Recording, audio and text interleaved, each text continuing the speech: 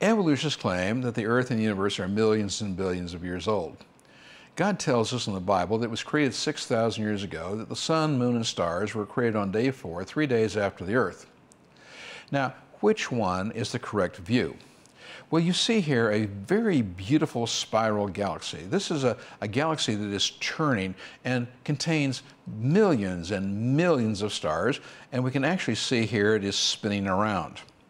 Now, diagrammatically, it kind of looks like that, that there's a center core uh, with a lot of gravity in the middle, and it's kind of like the axle on a car, and then the stars are spinning around like the wheel. Now, here's the problem.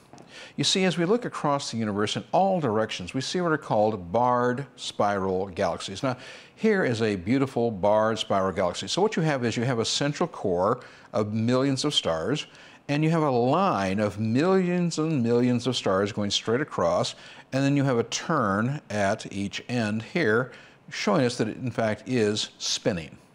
So it is a spiral galaxy, but it's a barred spiral galaxy. Now, this is a diagram of a barred spiral galaxy, just to reemphasize the point. Now, when we look at these barred spiral galaxies, we see them at all distances in every direction. But the problem is this they are spinning around and prove that this is a young creation. It is not millions and billions of years old. Because you see, this bar that crosses this barred spiral galaxy, if the galaxy had turned more than one eighth of one turn in its entire lifetime, then we would no longer have a straight line of stars. It would be curved. Well, this proves that these galaxies are young. And these galaxies are scattered throughout the universe. And if these galaxies are young, the creation is young, exactly as the Bible tells us.